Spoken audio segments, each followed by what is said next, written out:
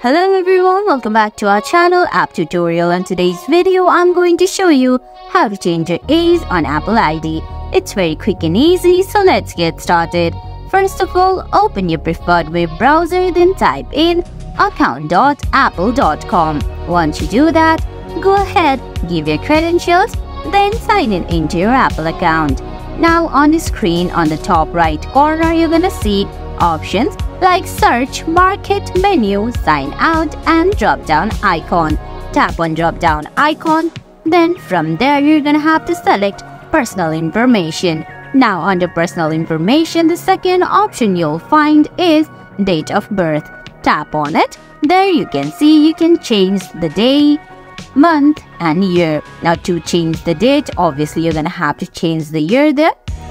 Once you adjusted your A's, go ahead and tap on save from the bottom of your screen. And guys, that's it. That's how you change your A's on Apple ID.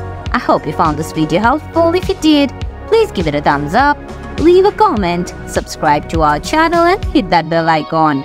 See you in the next video. Thanks for watching.